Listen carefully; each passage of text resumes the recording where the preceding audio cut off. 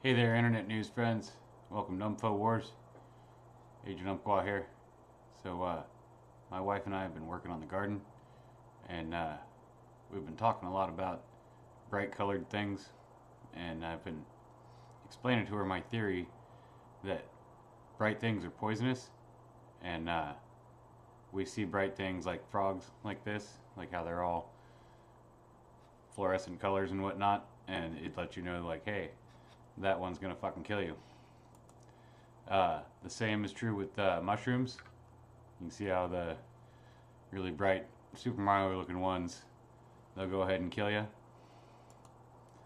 So, my theory also is that is the reason why vegetables are bright colored, is because they will kill you as well. Um, I believe that we should only eat potatoes and probably just the brown ones at that because anything else is more than likely poisonous. Thank you and stay safe.